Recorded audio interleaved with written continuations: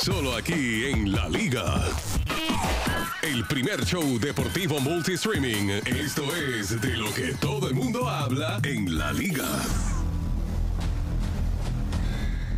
Esto es de lo que todo el mundo habla. Señores, en el mundo de los deportes no se habla de más nada que de la derrota de los Lakers frente a ese núcleo tenaz y veterano de Denver Nuggets. Sin dudas, los Lakers, la gente dice que si se van a dejar quitar un campeonato más, se ve un LeBron James frustrado.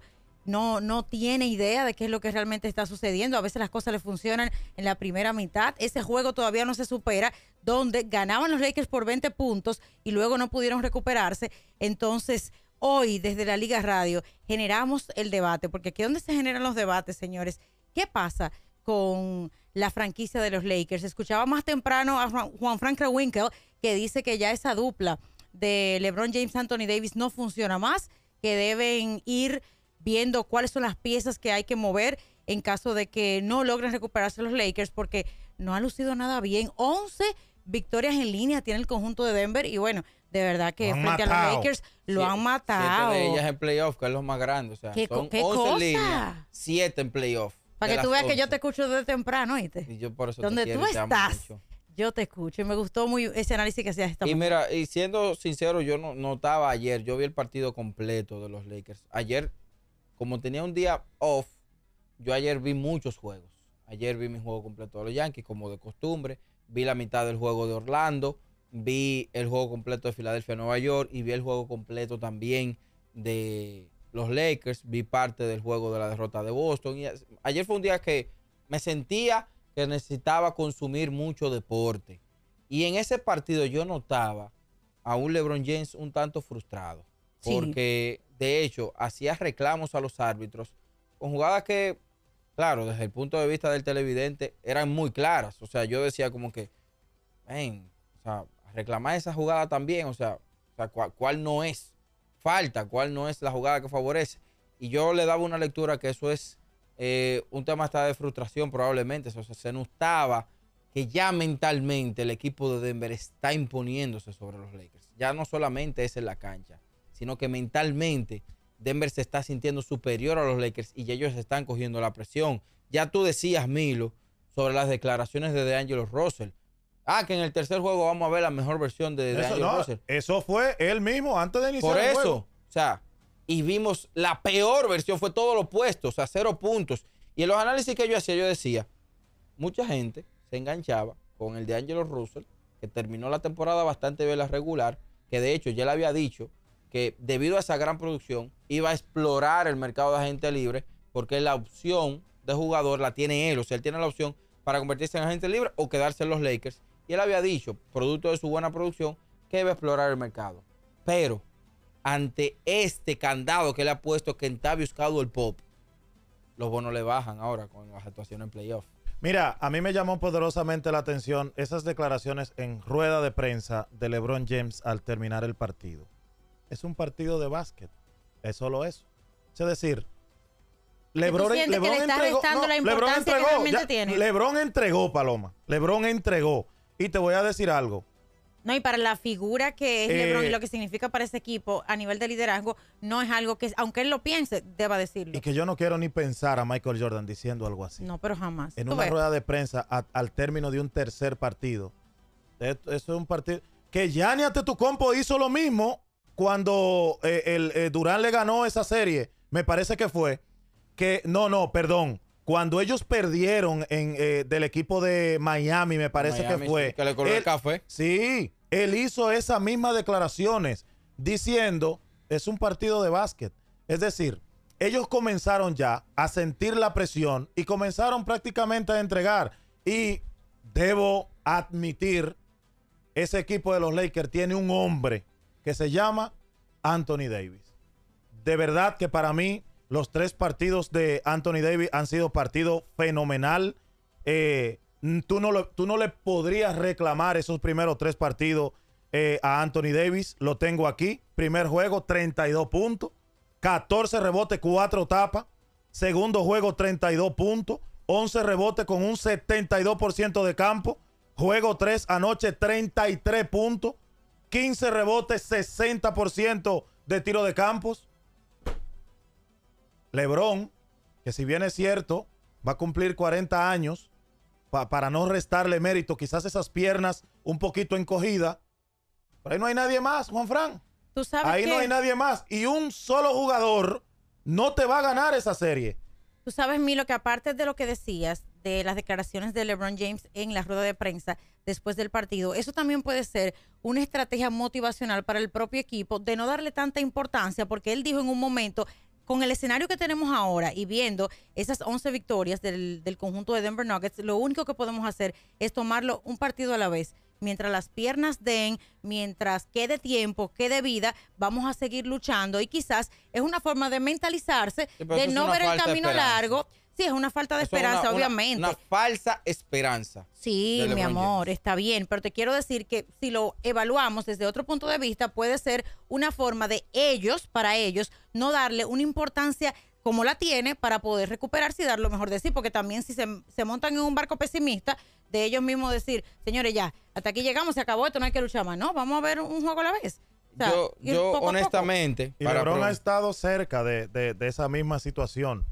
Ya en 2016, aunque no 3-0, pero estuvo 3-1 abajo en una serie, en una Mira, final. para que la gente la NBA. tenga en contexto y aprovechar también para saludar, repetimos a toda la gente que está en nuestro canal de YouTube. Ya José Núñez puso dos superchats, presidente de los charteros, Ay, pero Dios como no tienen que ver con basquetbol, lo voy a dejar para un ratico más.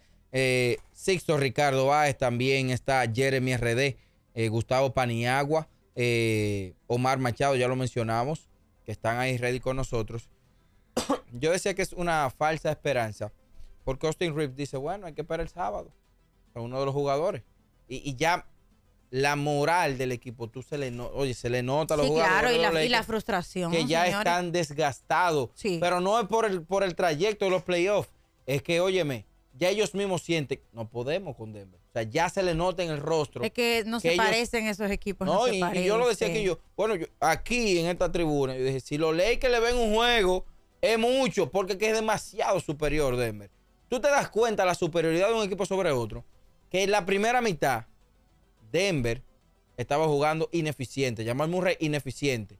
Los Lakers estaban jugando casi perfecto y el juego estaba de 10. Sí. O sea, con, con los dos extremos. Uno en, en Jimaní, el otro en la capital. Y el juego estaba de 10 puntos. No, y- y- cuando la Entonces, cosa ellos empezó a en normalizar. un y luego pierden el ritmo. Cuando los Lakers bajaron al nivel normal, que es, vuelvo y reitero, es lo normal.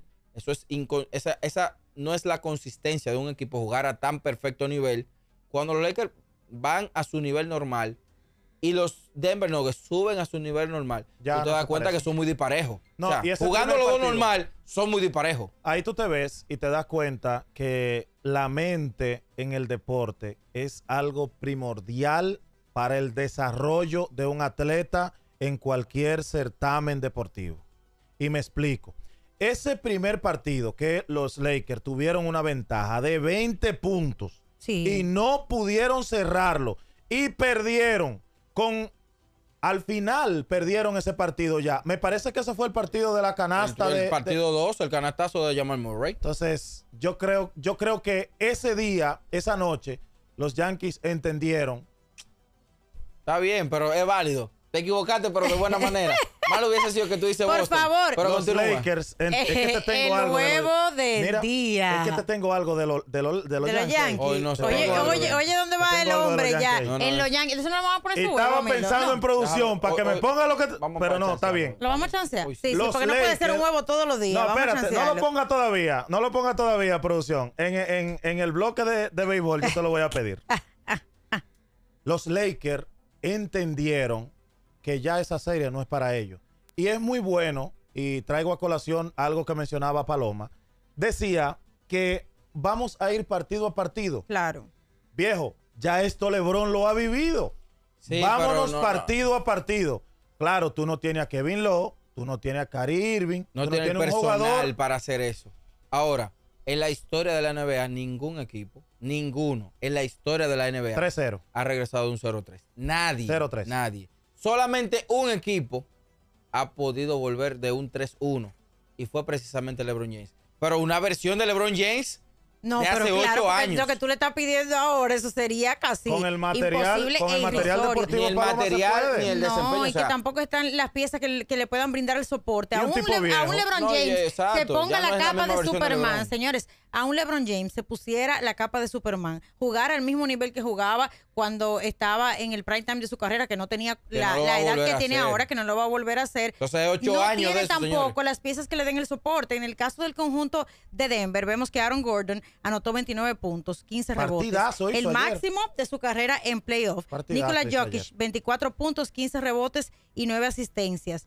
O sea que una victoria de 112 eh, a 105 sobre los Lakers en este tercer juego de la serie en la primera ronda. Además de lo que hizo Jamal Murray, que anotó 22 puntos para ayudar a los campeones a encaminarse a este triunfo. Entonces aquí vemos y un trabajo 20 de Michael Porter. Exacto, un trabajo colectivo que de hecho decía Porter, ni siquiera la prensa puede, señores, asimilar 11 victorias consecutivas. Imagínense lo que eso puede desmoralizar a otro conjunto. Decía que para ellos, cuando ellos vieron que los Lakers en ese primer partido ganaban por 20 puntos, nunca se desenfocaron. Al contrario, empezaron a subir el nivel, al subir el nivel y demostraron que es un equipo muchísimo más superior que los Lakers. Por o sea, hay un trabajo colectivo que hay que destacar, que es lo que no se ve en el conjunto de los Lakers. Por eso es que yo he dicho aquí, y no, no, no soy un Jokic lover. No soy un Jokic lover. Me gusta verlo jugar, pero no es de que mi jugador favorito. Todo el mundo sabe, mi inclinación es Carmelo Anthony, ha sido toda la vida. Pero es que es inevitable, y se lo he tratado de explicar en múltiples ocasiones a la fanaticada. La inteligencia de Nikola Jokic es algo fuera de serie. Es que este tipo, en la primera mitad, él era un repartidor. O sea, él no estaba concentrado en que tirar pelota, él estaba concentrado en tomar los rebotes, distribuir la pelota, hacer los bloqueos a Aaron Gordon para que, para que pudiese tener una mejor visión de juego, haciendo los switch, Que para que Michael Porter se quede con, con. Austin Reeves.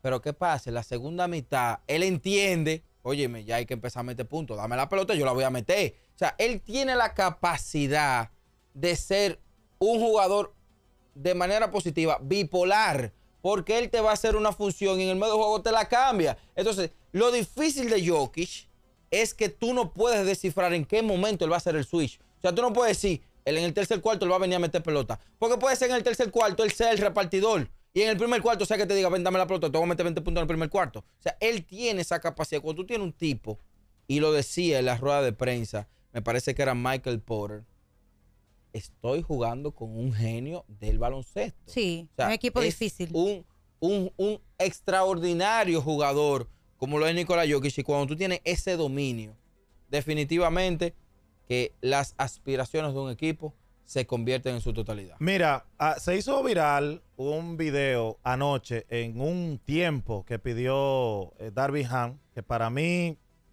Ha quedado de ver. le ha, que- le ha quedado grande. quedado grande los Lakers, Le la ha quedado grande. Y, pero también hay algunos jugadores que no colaboran.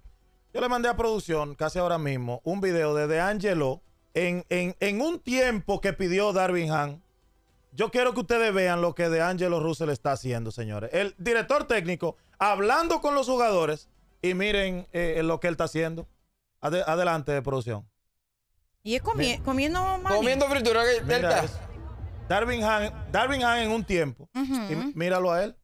No, pero Oye, él estaba como eh, comiendo Él pistacho está sentado En comiendo. su mundo. en su mundo de, de- sea, Digo, de con- Pokémon. Con, con cero puntos. Es que esa no es la mentalidad de un, esa no es la mentalidad de un competidor. No, no, no, pero jamás. Mira eso. Eso Pero no es su- mentalidad el, de el un lenguaje competidor. corporal, Milo, dice mucho. Y si yo lo leo desde aquí, lo que se traduce es a no me importa Hagan lo que ustedes quieran. Hagan lo que ustedes quieran, salven lo que, lo que puedan salvar. Eso y lo que no te va a salvarse que se hunda. Eso te demuestra lo desmoral que está el equipo de los Lakers contra el conjunto de Denver. Es que mentalmente ya le ganaron la batalla. Adivina cuál fue la frase ahí que ¿Cuál fue la envió frase? Qué él. difícil me la pusiste. No, para lo que está sembrado, que ni Que ni llueva. llueva. Mira, vamos, vamos a meter la farmacia en este bloque. Sí. Me gusta, sí. claro. Oh, pero hay mucha gente dolida. Hay, mu- hay muchos fanáticos de los Lakers Señores, que pero- le duele es, es- ese video de Angelo. Esa de Angelo actitud. Oye le la- duele. Oye la pregunta. Dime la pregunta.